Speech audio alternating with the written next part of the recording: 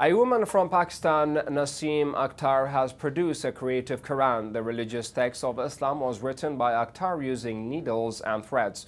Akhtar hails from Jur or Gujarat in Pakistan. She was 30 years old when she took up the production of this novel Quran. She completed the Quran recently. It took her 32 years to make this magnificent copy of Quran.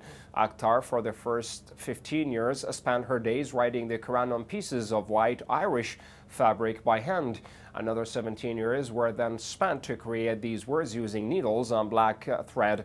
Around 300 meters of cloth and close to 25,000 meters of thread were used to create the Quran. The compilation consists of 10 bindings, each contains three paragraphs of Quran.